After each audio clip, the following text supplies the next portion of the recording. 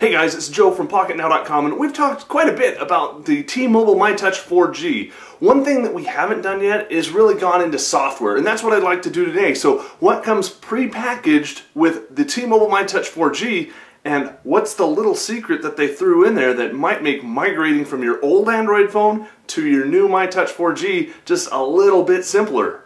And you didn't even know what was happening. Let's go take a look.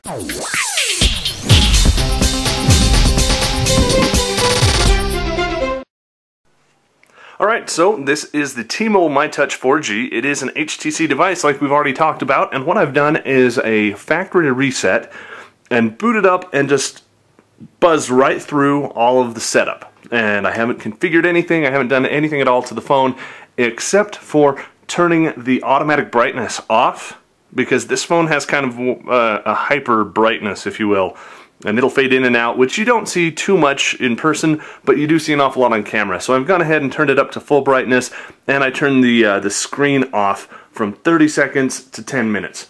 Um, so that it doesn't keep turning off while I'm filming, obviously. So other than that, this is as stock as you're going to get right out of the box with your MyTouch 4G. So let's go through software now.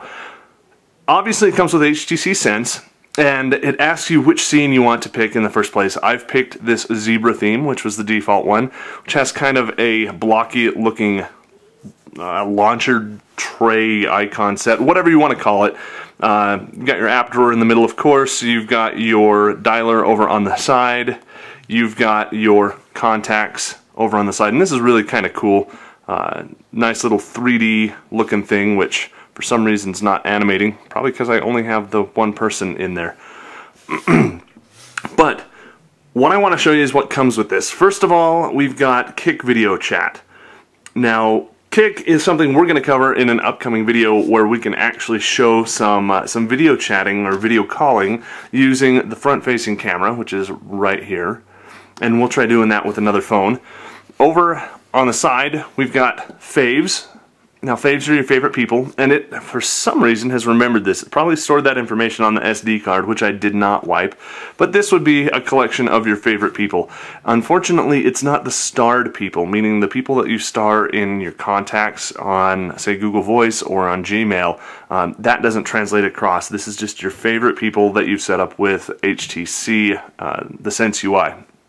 Next, we've got your power widget, which is the, the stock power widget that you've come to know and love. Of course, you've got your Wi-Fi, Bluetooth, GPS, whether you want to sync with your various services, and then, of course, your brightness, which I have turned to full up and not automatic, just for the purposes of this video, of course. This also has kind of entertainment. It's got the T-Mobile TV app. It's got something called Media Room, Rock Band, yes, Rock Band, and Asphalt 5. So before we go too much further, let's look at each one of these. Media Room is just kind of that. This is your collection of music videos. It's got your FM radio, and it even has Slacker radio right there. So you can listen to all of your music, even the stuff that's online. You can listen to FM radio as long as you have your headset plugged in, and you can watch whatever videos you have on the phone. So kind of cool to put all of that in one place. Next, we've got T-Mobile TV, which is basically just Mobi TV. It comes with a 30-day free subscription, which you'll see right here. Go ahead and accept that. The first time you use it, you do have to be over T-Mobile's network. You can see here I've been trying it for a few days now. You have to be over a T-Mobile network rather than over Wi-Fi the first time you use it to make sure that your device is indeed a T-Mobile phone and that you are authorized to use it. Now it comes with a 30-day subscription and I'll show you in here. You go to help, view subscriptions, and right there, T-Mobile TV, it shows you how many days are remaining. Simply uncheck that and you won't be billed $9.99 a month for everything but the first month. So there is all that. Of course, we can go back home. Here we've got live TV and all the stations that are broadcasting what they call live TV. You can see over here a little dollar symbol uh, to let you know that that's an additional subscription on demand, same problem as TV.com. There are some full episodes, but there's an awful lot of uh, clips, teasers, trailers, and whatnot. So um, it still hasn't made it quite to where I would say it's going to replace your, your cable TV box or even just casual watching. I have to go through and hunt around to be able to find something that I'm interested in, uh, which is kind of a shame because my, uh, my tastes are relatively broad. But it's neat that they're starting to include that on the phone just right out of the gate. And there is a little bit more uh, full episode content with T-Mobile TV than there is with TV.com. So let's go back over here where we were before. Asphalt 5. Asphalt 5 is a racing game. It's very entertaining and it makes you rotate your phone and then not. This is basically demoware. You can play the demo which has a level or two, but if you want to buy the full thing it's seven bucks. Go ahead and play the demo and it says, yep, here you go. One race or 10 minutes max, that's all you get. Okay. You know, the first one's free, but the next one's going to cost you kind of a slow loading splash screen, a loading screen. Don't remove your SD card during the loading. Touch the screen to continue. Pick your car, and we're just going to go through and do the defaults here. And wait for loading. Loading, loading, loading. This is the thing that I hate about everything. The old console games and whatnot. It takes way too long to load. But once you get in, the game is really kind of fun. It's not something that I would pay money for, but my kids sure would. Tap the screen to continue. We can skip that if we want. It's just showing an overview of the course. And you can see here the graphics are really pretty good. So not bad at all. We'll go ahead and cancel out of that because that kind of showed you what we're going to expect and we'll go back to our game screen. Now, this is the one that really gets me, and it's Rock Band, and sure enough, it's just like the real Rock Band on your console.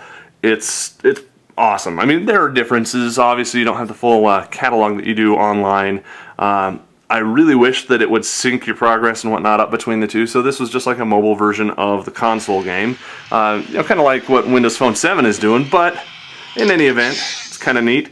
Let me just show you the controls in here a little bit.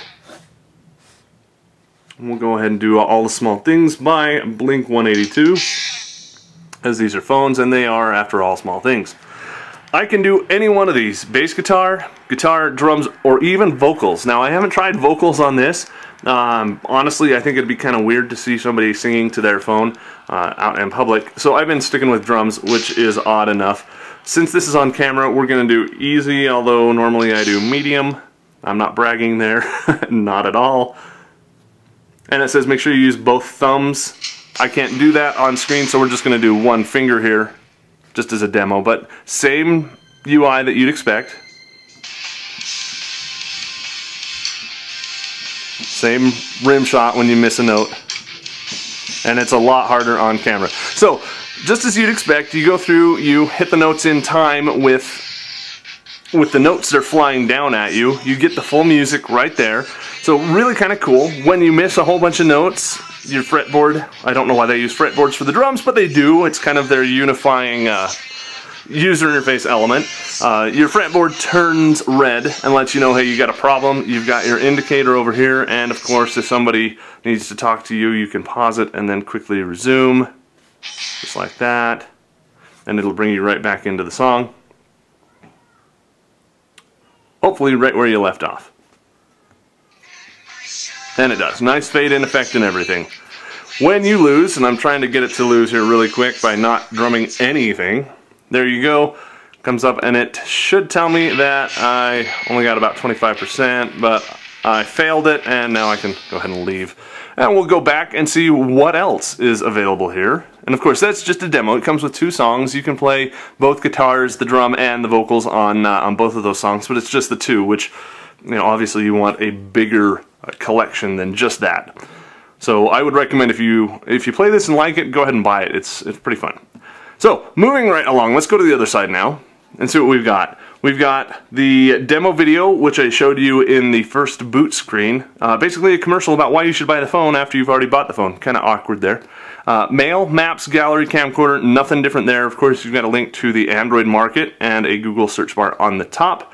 This is your uh, weather widget, which it doesn't really know where I am, so it's showing me the weather in New York. I can set that, of course, to my location and get the uh, not only the four-day forecast, but also the current conditions. So really cool. That's one of the things that I like on my phone, whether or not I have HTC Sense or not. Also comes prepackaged with Amazon MP3, the T-Mobile app pack or a shortcut to it. We already talked about Asphalt 5. It comes prepackaged with barcode scanner, which is really cool. Uh, more and more people are putting barcodes on stuff. You've even seen in some of the Pocketnow articles that we have a QR or a quick response code that is right there that you can hold your phone up to your computer screen, snap it in your barcode scanner software, and it'll take you right to the market where you can download that app. No more typing, no more searching. You don't have to worry about you know typing something in and getting 10,000 responses and not knowing which is which. The next row is basically stock stuff, your calculator, calendar, camcorder, camera, car dock clock contacts, the demo video that we already talked about. Now these contacts are the HTC contacts. It's not the Android contacts, which some of you will like, some of you will not. Got a desk clock, which is just that. Basically, car dock and desk dock are what we saw in uh, the Nexus 1, where if you docked it into a car dock or a desktop dock, it would switch the phone into a different display mode.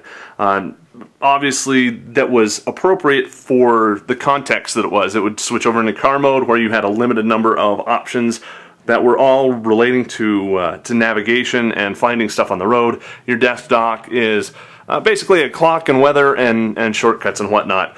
So, kind of neat. Uh, I hope that those three little gold docks right there mean that we are going to have a Nexus 1 style docking solution uh, in the future. I haven't seen one yet. If you have, please leave us a link to that in the comments down below. Flashlight, obviously. We, we got to have a flashlight. It's got a push button to turn it on. And that's your LED flashlight right there. It's very bright. It does a really good job at being an impromptu flashlight. Uh, make sure you turn it off when you're done with it. The other feature that I wanted to show you, I don't really know where it comes from. I don't know if it's something that T-Mobile is doing. I don't know if it's something HTC is doing. I don't know if it's something that Google is doing with Android 2.2.1. What it is, when I came in here and I set up my device to connect to the market, I had to supply my, my Google credentials.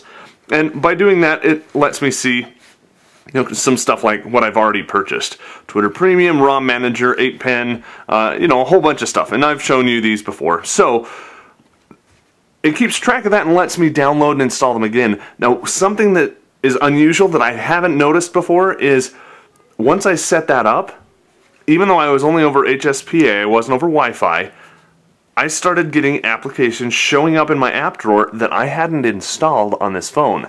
Now this isn't just updates like Google Maps and Flash Player and whatnot, this was my full set of apps. This was, count them, 74 apps that I had previously downloaded and installed automatically got pushed to this device. Now in my opinion that's just that's very, very cool. I'd like to know where it came from. So if you know, please let us know in the comments. Uh, I'm sure there are lots of other people who are interested in that. Do you have this feature on your phone? And if so, what phone is it and what version of Android are you running? But it was very cool. All I had to do was configure my, my Google account, go to the market, and then it just went and did its thing. In fact, you can see up here it's got the little synchronizing arrows it did it in the background. I didn't even know it was happening until it was all done. It didn't affect my browsing speed noticeably. It didn't affect the performance of the device noticeably. It was just a really, really cool feature. So thumbs up to you, Google. So with an overview of the apps that come preloaded on the T-Mobile MyTouch 4G and for Pocketnow, I'm Joe Levi.